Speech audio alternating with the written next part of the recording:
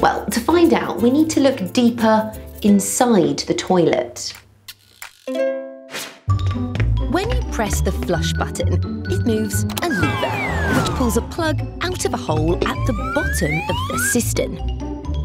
Fresh water flushes out of the cistern into the toilet bowl below. The water is so powerful that it pushes through the old water and your wee poo out through the pipe at the bottom of the toilet bowl.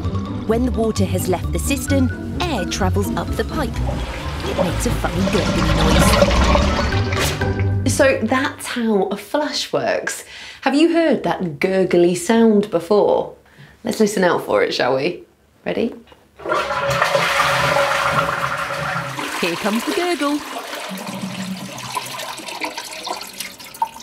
So now you know that that noise is the sound of air travelling up the pipe to stop the flush. But I want to see inside the cistern when the toilet is being flushed.